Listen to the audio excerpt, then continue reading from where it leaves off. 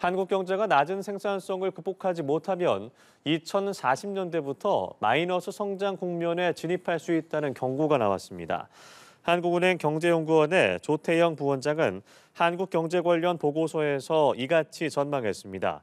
생산성 기여도가 자본 투입 기여도의 30%로 저조한 경우 2020년대 2.1%, 2030년대 0.6%에 이어 2040년대 마이너스 0.1%로 마이너스 경제 성장 국면에 진입할 것으로 예상했습니다.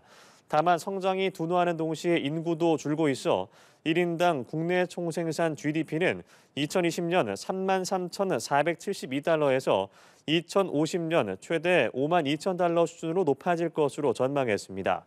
주호 부원장은 높은 생산성을 유지하는 전략으로 고부가가치 산업 전환과 미래 불확실성에 대한 대응 능력 강화를 들었습니다.